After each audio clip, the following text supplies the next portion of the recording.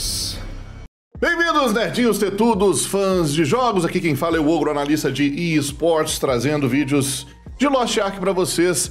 A primeira e mais frequente pergunta que eu recebo na live geralmente é: Ogro, como eu escolho a minha classe? Qual é a melhor classe? Qual é a melhor classe para mim, né? Cada player tem um gosto e é isso que a gente vai discutir agora. Então, How will you fight, tá? A primeira coisa que vocês têm que saber sobre o Lost Ark é que todas as classes são de DPS. É claro que elas têm um gostinho diferente, mas todas as classes causam dano. Você não tem uma classe que é especificamente de tanque ou uma classe que é especificamente de curandeiro. Todas elas vão bater Umas mais, outras menos, umas mais em área, outras mais focadas, uma com controle de grupo, outras com outras propriedades, né? Com burst damage, com dot, etc. Né? Dot é damage over time, né? Dano, dano periódico. Pode ser é, veneno, pode ser fogo, pode ser sangramento, essas coisas. Então a dica que eu tenho para vocês é o seguinte: Escolham a sua classe como se você fosse fazer um personagem de RPG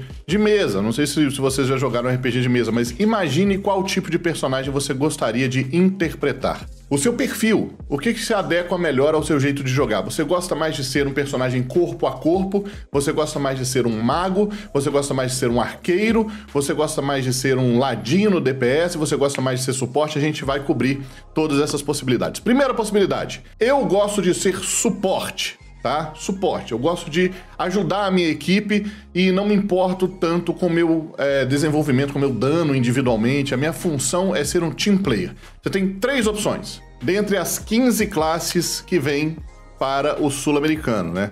Já no russo e no coreano, já passam de 22 classes o Lost Ark. Essas classes vão sendo liberadas com patches uh, mais avançados, com partes uh, diferentes da aventura, tá bom? Então a gente começa. Se você gosta de suporte, você tem três opções. Você tem Bardo, que é um mago, né? Obviamente ele vai ter mais alcance, ela é mais frágil, porém tem uma capacidade muito interessante de construir escudos, né? De absorver dano para o seu time e também de curar, além de ter bastante dano em área e possibilidades de crowd control, né? Controle de grupo. É, stun em área, lentidão, coisas desse tipo. Outra possibilidade é você escolher o Paladino, que também tem propriedades muito parecidas com a propriedade do Bardo, que é de criar escudo e também recuperar vida, porém é uma classe corpo a corpo e mais resistente. Não tem tanta mobilidade e controle de grupo como o Bardo tem, porém ele bate mais e tem o downside, né, a desvantagem de ser mais lento de chegar no seu alvo. E você tem também o Gun Lancer. Eu vou colocar o Gun Lancer nessa, nesse bolo, tá? Porque ele é o único tanque do jogo.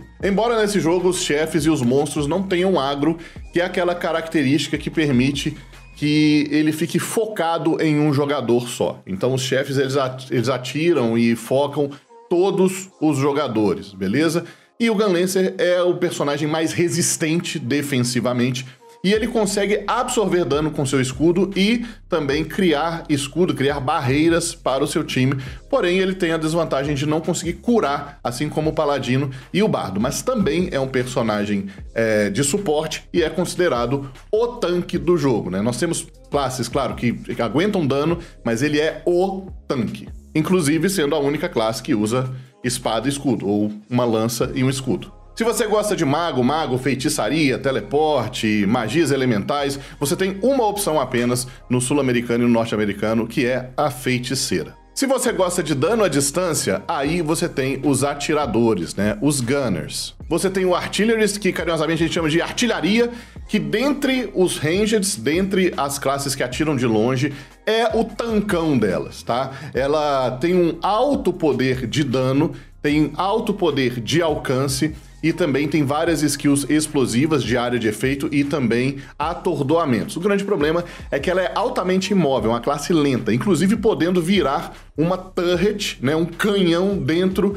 do campo de batalha, assim ficando com zero movimento, porém ela dá um dano bem cabuloso. Você tem o Sharpshooter, que é efetivamente um arqueiro que também tem uma adaga, então ele é versátil entre mobilidade, tiros à distância, tiros carregados, tem algumas armadilhas também que você pode usar, é bem versátil no PVP inclusive. E o Eye e o Gunslinger são a versão feminina e masculina da mesma classe, tá? Que é uma classe que joga com revólver, com escopeta e com rifle de sniper, e você tem que manipular essas três armas são as duas classes com a mecânica mais complicada do jogo. Então, se você gosta de jogar tendo trabalho nas teclas para causar o seu dano, tendo aquela, aquela, aquele trabalho para ter um extra mile, também é uma classe que é muito versátil e que compensa quando você entende a classe e você usa ela de uma forma excelente. Ela tem um desempenho além das outras, mas é bem difícil de jogar. Agora, Ogro, eu quero jogar de personagem corpo a corpo. Aí você tem uma gama gigantesca de opções, tá? O personagem corpo a corpo mais resistente que existe é o Berserker. Ele é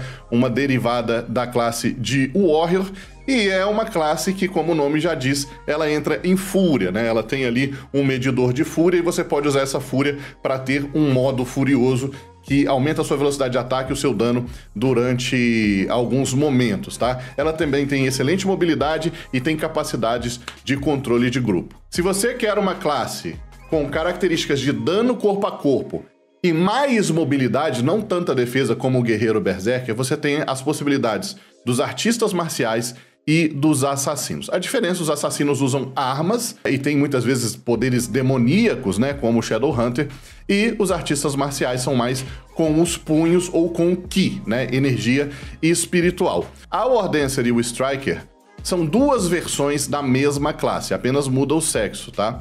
E é uma classe extremamente fácil para iniciantes. É uma classe que você precisa apertar poucos botões para fazer ela funcionar bem. E são artistas marciais que funcionam com golpes elementais: fogo, gelo, raio, etc. As duas, tá bom? Scrapper é um batedor corpo a corpo, mas com golpes pesados, golpes de concussão. Ela também tem movimentos mais lentos, porém movimentos que arremessam, movimentos que atordoam. Então é uma excelente opção para PVP.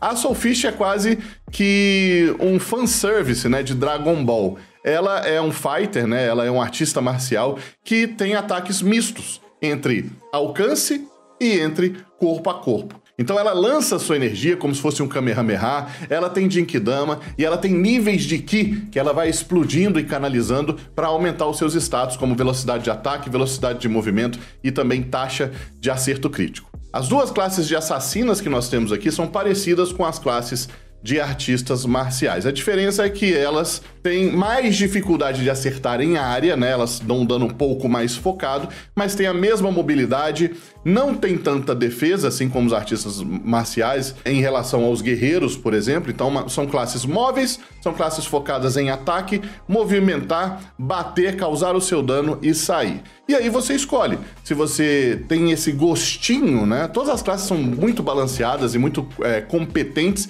E se você quer ter esse gostinho de jogar com espadas, de jogar com lâminas ou de jogar com fist weapons, né? Como os artistas marciais aqui têm seus punhos e etc, né? Ou até mesmo o charme, né, da, da Soulfish, que é esse esse emblema que fica correndo atrás dela, seguindo, né, flutuando.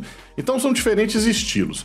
Se você quiser jogar de corpo a corpo, né, de classes corpo a corpo, aí você vai ter mais dificuldade para escolher entre. Nós temos o que? Berserker, mais 4, 5 opções, 7 opções no total. Aí você precisa ver vídeos de classe por classe para você ver o que, que se encaixa mais no seu estilo de jogo. As outras funções já estão bem explicadas, beleza? Espero que eu possa ter ajudado todos vocês, espero que vocês tenham gostado. Deixe o seu like, compartilhe se inscreva no canal. Lives todos os dias em twitch.tv barra Jogue Como Ogro, arroba Jogue Como Ogro no Instagram e no TikTok. Um beijo do Ogro, nosso conteúdo é diferente.